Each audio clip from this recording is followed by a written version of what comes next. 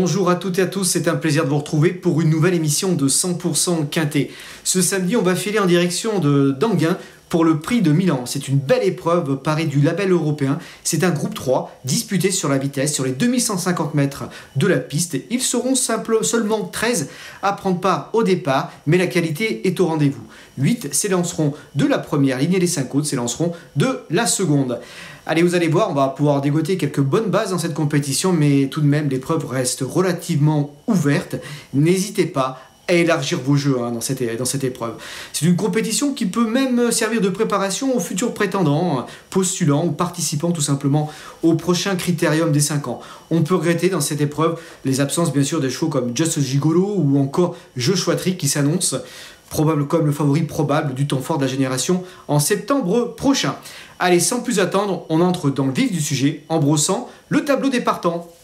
Allez, tout en haut du tableau des partants, c'est le numéro 1, c'est Juliette Papa Bravo, hein. c'est une jument de classe hein, et elle possède de sacrées références. J'en fais une priorité. Le numéro 2, Junino Dry, c'est un multiple placé de groupe 1. La piste plate va plaire, c'est un candidat aux premières places. Le numéro 3, Joiner Sport, il est confirmé à ce niveau. Il, mérite d'être retenu en bon rang dans cette compétition.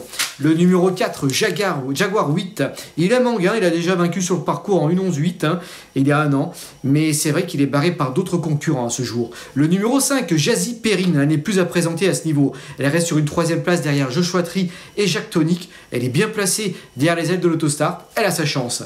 Le numéro 6, Jaguar Marancourt. Il tentera de surprendre. Le numéro 7, Deuzac. La vitesse, c'est son truc. Hein. Et la piste plate aussi. Pour moi, j'en fais une priorité. Le numéro 2, numéro 8, pardon, Justin Bold. Le 25 juin, il terminé 5ème hein, de l'épreuve référence, le prix Raymond Foire, derrière Joshua Tree ou encore Jack Tonic.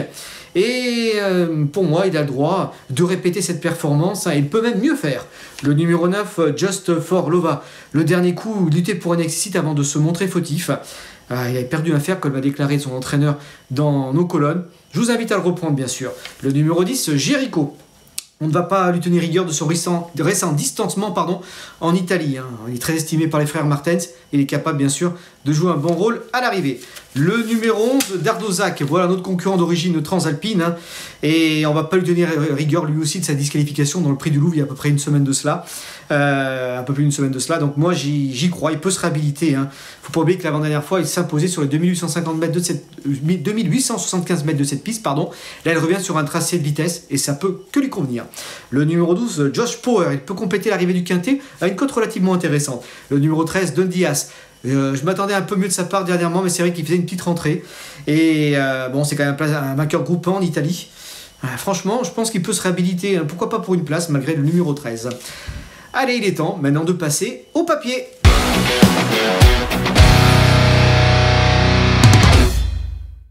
Allez, pour l'étude de ce papier, moi j'ai placé tout au long de ma sélection le numéro 1, c'est Juliette Papa Bravo. C'est une pouliche de classe, comme je le disais en préambule. Elle n'a couru qu'un 15 reprises depuis le début de sa carrière, elle est peu expérimentée, mais elle possède déjà un sacré palmarès et de très belles lignes. Euh, faut pas oublier qu'elle a terminé quand même quatrième du critérium des 3 ans deuxième de Deuzac dans le championnat européen des 3 ans en octobre dernier à Vincennes. Elle a terminé quand même deuxième de Just Gigolo dans un groupe 1 l'hiver dernier à Vincennes, ou encore elle s'est classée deuxième du champion Orsi Dream dans le prix de sélection euh, pas plus tard qu'en mars dernier, ce qui est pas rien tout de même. Bon, c'est vrai qu'Orsi Dream lui rendait la distance. Voilà, c'est des lignes quand même qui sont en béton. Il ne faut pas oublier aussi qu'elle avait gagné son semi-classique hein, l'hiver dernier face à Joiner Sport. Elle battait les mâles. Elle peut regarder droit dans les yeux. Euh, moi j'y crois beaucoup. Alors c'est vrai qu'elle doit faire une petite rentrée, c'est ce qui m'embête un tout petit peu, mais elle court bien déjà. Elle a déjà bien couru sur sa fraîcheur. Faut pas oublier quand elle terminait euh, deuxième du pré-ready cash l'hiver dernier, hein, c'était un groupe 1, elle n'a pas couru depuis euh, un mois et demi, hein, ce qui n'est pas rien. Là, j'ai envie de dire, c'est à peu près pareil. Elle a déjà bien fait sur sa fraîcheur et moi j'y crois. Elle est de retour à Anguin et je pense que la piste de Vincennes, comme beaucoup d'autres concurrents du jour, la piste de d'Anguin, pardon, comme beaucoup de concurrents du jour, va lui convenir, va, lui faire, elle va l'apprécier tout simplement. Ça peut que lui convenir. Faut pas oublier qu'elle a déjà vaincu justement sur ce parcours-là. Elle avait terminé troisième d'un groupe 3 au printemps dernier sur cette, sur cette piste. Moi j'y crois. Et c'est vrai qu'avant de, de, de s'affronter, les, gros, les gros calibres de cette génération, que sont ce Gigolo ou encore Joshua Tree dans le critère des 4 ans, ça peut être office de rampe de lancement en vue de ce groupe 1, euh, voilà, cette compétition de ce, de ce samedi. Moi j'y crois. Alors je vous invite vraiment à la retenir vraiment en très très bon rang. Elle est capable de, pourquoi pas, lutter pour la victoire. Ligne droite servira ses intérêts. Alors qui pour la contrer Ils sont plusieurs même à monter sur la, première marche du, podium. Hein. Elle n'est pas non plus, ce n'est pas, euh, elle n'est pas déclassée dans le sens, euh, comme d'autres, il y a d'autres chevaux qui peuvent euh, lutter aussi pour la victoire. Hein. Je pense à Deusac, euh, le numéro 7, hein, qui n'est plus à présenter. Hein. Lui, alors vraiment, la vitesse, c'est son truc, comme je le disais. faut pas oublier qu'il y a un an de cela, il s'imposait dans le prix Henri Cravoisier sur les 1600 mètres de la piste. C'est vrai que c'était un parcours réduit. Euh, c'est vrai que parfait pour ses aptitudes. Ses concurrent d'origine transalpine qui a concurru sur les courtes distances dans son pays. Il s'imposait vraiment dans une bonne réduction. C'était 1 7, ce qui est pas rien.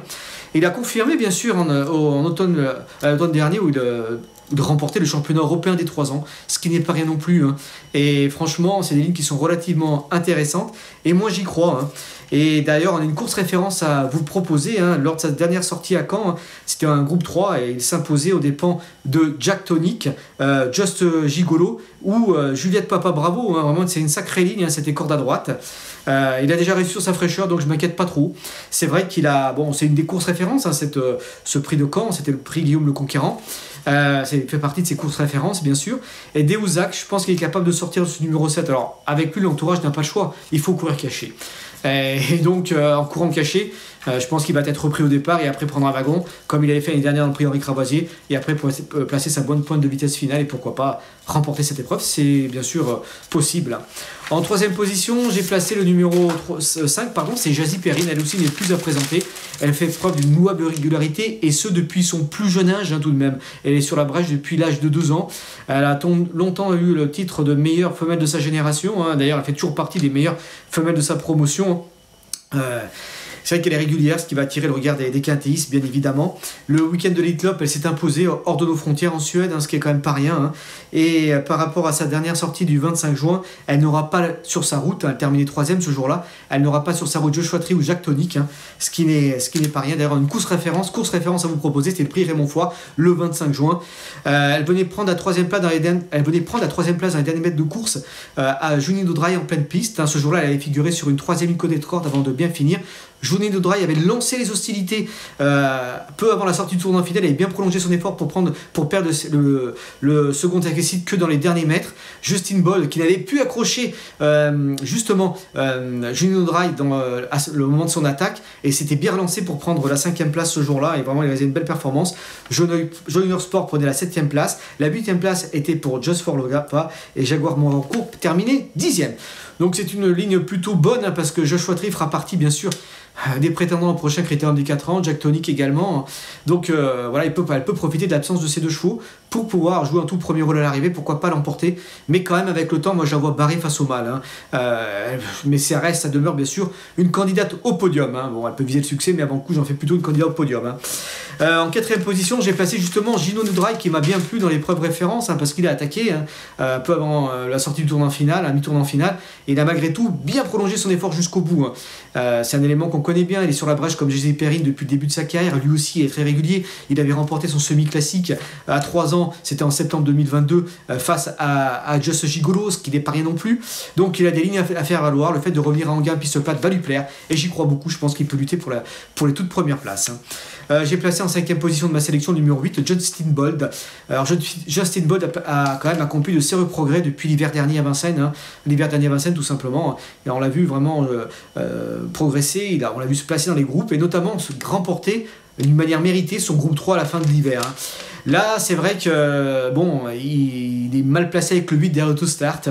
C'est vrai que c'est pas forcément sa distance. Hein. Il, préfère, il aurait préféré une distance un peu plus longue. Mais son entourage, comme il a déclaré nos colonnes, on espère, son entourage espère le voir terminer dans les trois. Je pense qu'en étant repris, il est capable de finir vite. La ligne droite est longue et pourra servir de ce sujet qui ne manque pas de dureté non plus. Hein. Faut pas oublier ça. Ça peut également le servir dans cette compétition. Moi, j'y crois beaucoup à Justin Ball. Voilà, on va récapituler maintenant ma sélection sur mes 5 chevaux dans ma rubrique, dans la rubrique, pardon, notre choix.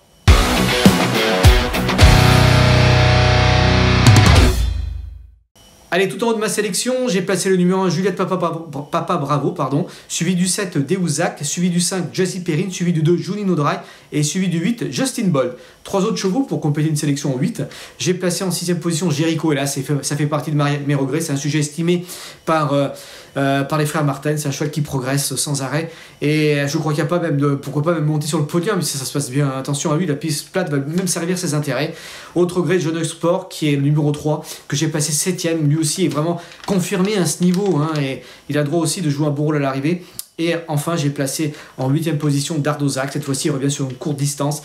Mathieu Abriva m'a dit que le dernier coup, il n'était pas battu au moment de sa faute, mais il avait du bon gaz. Hein. Euh, voilà, il progressait dans le dernier tournant. Et c'est vrai que dans le tournant, c'est pas où il est plus à l'aise. Il a pas, n'est pas là où il est le plus à l'aise. Il s'est montré fautif, alors qu'il avait du bon gaz. C'est sur 2875 mètres. Là, il revient sur 2150 mètres, ce sera encore mieux. C'est un cheval, comme il disait, qui progresse. J'y crois. Il est capable de terminer l'arrivée. Il y a un petit cheval du jour dans cette compétition, dans euh, un petit cheval du jour euh, que je vais vous transmettre. Il s'agit de Intouchable, Intouchable qui est capable euh, de, finir dans les trois premiers de cette, de, cette compétition, dans à il prend part. Il est vraiment bien engagé là au plafond des gains, il vient de s'imposer sur l'herbe, et là pour son retour sur une piste plate, je pense qu'il est capable de jouer un tout premier rôle. J'y crois pour être dans les trois. Eh bien écoutez chers amis, je vous remercie de nous avoir suivis, je vous dis à très bientôt pour une nouvelle émission de 100% Quintet. Merci à vous d'avoir suivi cette vidéo. Alors pour vous abonner à notre chaîne YouTube, c'est ici. Et pour suivre encore plus de vidéos Paris Turf, c'est de ce côté.